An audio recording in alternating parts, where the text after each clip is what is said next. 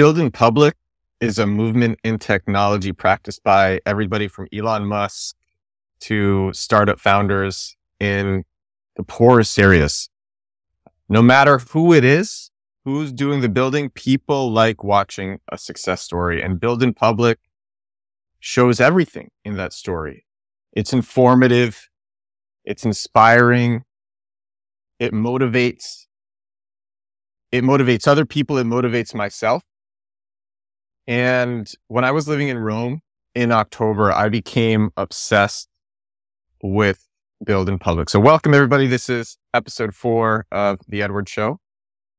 And uh, if you search build in public on TikTok, I show number one. I show number one. I thought that would be so cool. And uh, turns out, big mistake. And I'm gonna I'm gonna explain why it was a mistake. I'll talk about how I did it, why it's a mistake, and what caused me to do it in the first place. Um, and uh, yeah, so I, I became obsessed with the idea of build in public while I was living in Rome. I mean, this channel is called Edward Builds on YouTube. It's Build in Public. I have the Twitter, I have the YouTube handle at Build in Public. On TikTok, my handle is at Build in Public. On Instagram, it's Edward Builds. On Facebook, it's Edward Builds. I think on LinkedIn and Pinterest, it's also Edward Build. So I, I thought that it, w- it was just so cool to be Build in Public. And um, I saw these great people doing it. I really love Pieter Levels. I think he popularized the movement, the Build in Public movement, but Elon Musk as well everything that he's doing with his startups, he's showing himself crushing it with his startups. And he's, he is probably the biggest build in public person in the world. Uh, people like seeing people who have the odds stacked against them succeeding. And I think if you're a startup founder, the odds are stacked against you. People want to see you succeed so they can be inspired, but also learn what you learn. So, so they can do it too. And even if you fail, it's okay as long as you explain why you fail and do it in such a way that it still like motivates people to keep trying. So yeah, build in public is excellent. So I, I, tried to do it actually when I was living in Rome. I tried to do it on Twitter. I think build in public started on Twitter. And I tried to do it on Twitter and uh, I tried it for a few weeks. And it turns out to get popular as a big build in public account on Twitter, actually very difficult. And, uh, you know, at this time, this was before the acquisition. There was no follower ads. Follower ads would have helped a lot. Now there are follower ads, which I, I very highly recommend trying. I think they're one of the biggest marketing hacks that there is today. They're so cheap. They get you a lot of followers, a lot of impressions. I've, I've tested if these followers are real. I DM them. They DM me back. So these are real people. Follower ads are incredible. But at the time, there were not. So what I'm about to tell you is, is like, if you want to do build in public, just totally organic on Twitter, this is what it takes. It takes two to four hours a day of tweeting. That's coming up with your own tweets, coming up with your own threads, replying to people. Uh, over 500 tweets a month. I was doing research into the top build in public people. They were doing over 500 tweets a month. And the really, the really hard thing is the benefits don't unlock until after you've done it for a while. It's a, it's very much a rich get richer type of thing. The more followers you have, the, the more community you have, the better your tweets do. And if you don't have a lot, it's, it's quite hard to be discovered. And, uh, so I tried this for a few weeks and it was just very difficult. I got, I just, I didn't like that I was spending so much time doing build in public and not enough time actually building. And uh, so I, then I started thinking like maybe there was somewhere where build in public wasn't totally saturated because I felt like after doing that for a few weeks on Twitter in in October in Rome, I felt like it was just too saturated on Twitter. And so I, I thought about other places. A lot of places, a lot of people had been telling me to get on TikTok. And so I looked into TikTok and I, I just did some very simple research. I searched build in public or indie hackers on TikTok and it wasn't saturated at all. And so I, I thought maybe even though it's not saturated, it's undersaturated. Maybe there will still be a market for this on TikTok. So I created my account, to Build in Public on TikTok. If you search Build in Public on TikTok, you'll find me. This was on November 1st. I had just arrived from Rome to Barcelona. I had ditched the old, I, I was, I, I, at the time, I had been experimenting with TikTok and I ditched the old account that I was using to experiment with. And then I got to Barcelona and started this new account, Build in Public. And, um, I got pretty big on it. So suffice it to say, I, I, I recorded a podcast yesterday about how I got big on it, my story with TikTok. So if you'd like to hear how I got, I have like 35,000 followers. I made the most viewed video in the world on the, the Silicon Valley Bank collapse. I've had so many videos that have gotten millions of views.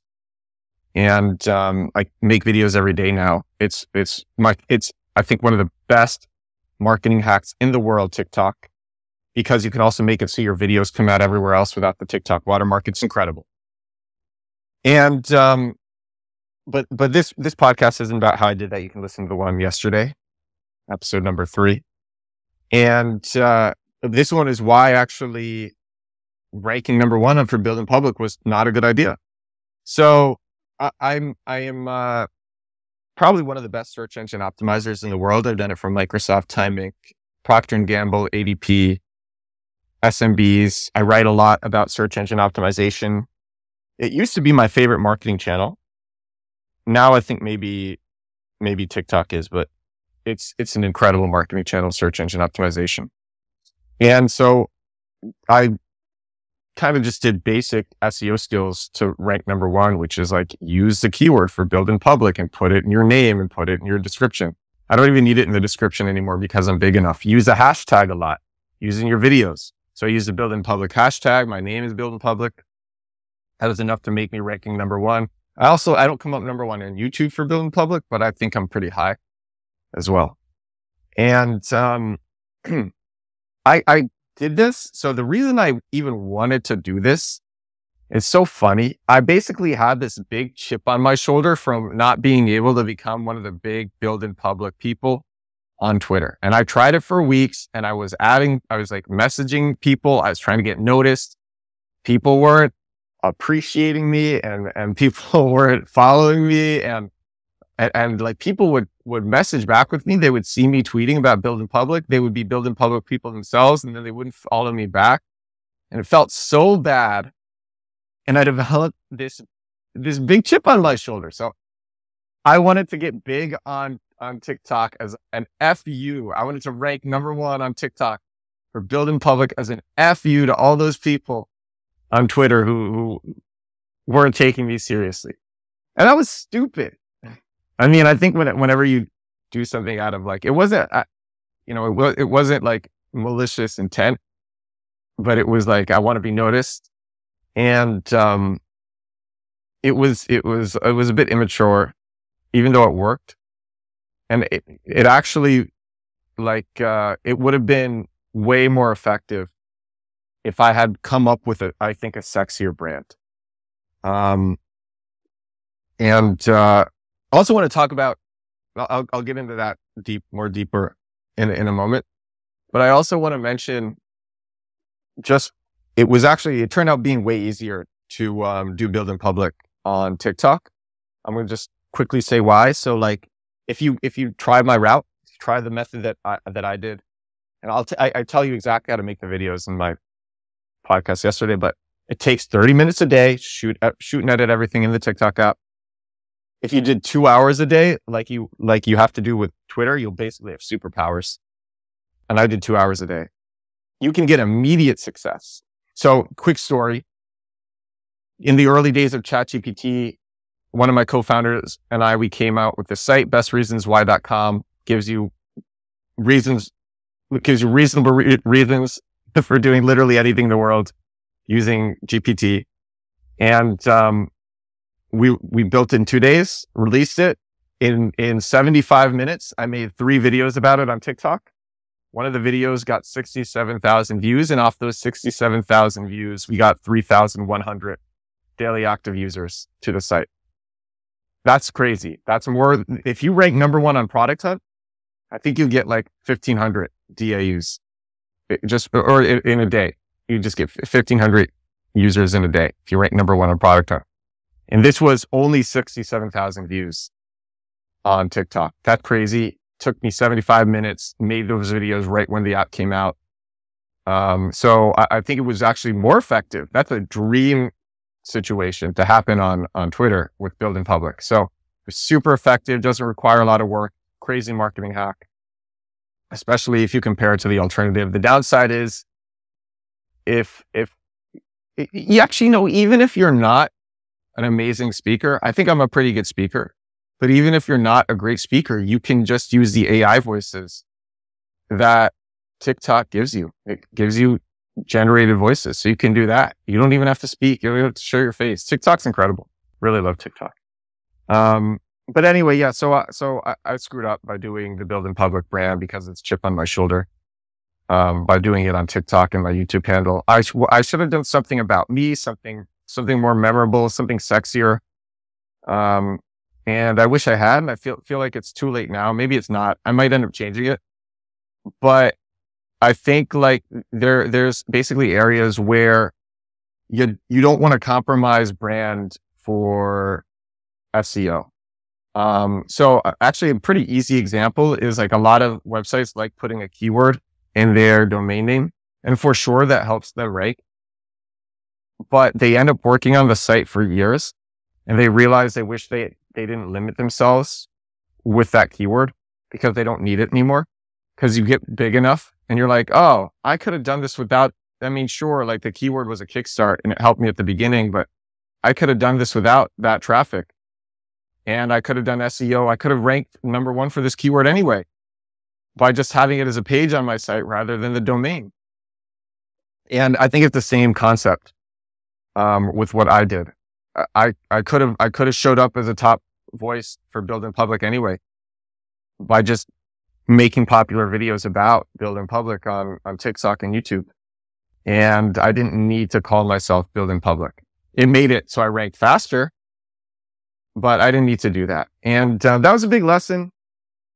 And so, uh, I, I, yeah, I don't know how relevant it is for anybody listening, but I, I think there are a bunch of different lessons in it. And, um, like if there is something that you want to rank for, if you, if you like me have like a chip on your shoulder for some phrase or term, like you can rank for, I'll, I'll tell you, you can rank for it pretty easily on TikTok. And it, yeah, it is. And, and, and maybe even on YouTube too. And it is cool to be able to tell people like, yeah, I rank number one for build in public because it's such a widely known movement it, for, for entrepreneurs. I love the movement. I'm proud to be associated with it because it is an amazing movement. Um, I just wish I had gone about it in a different way. One that didn't make it so that like my brand name is build in public. So now I've changed my name. Like my handle is build in public, but my name is, I think, Edward Sturm on both YouTube and on, uh, TikTok. So, uh, yeah, but cool lesson nonetheless. Would have done, if, if I was doing it again, I would have done something more flavorful. Um, I eat, I, I eat garlic every morning. And, uh, I think that's actually like a health hack, eating gar- garlic every morning, raw garlic. I have a clove. I chew it. It burns. Apparently it's really good for me really good for a lot of people. Doesn't make me smell bad. People think it does that. In fact, crazy theory. I think it's an aphrodisiac.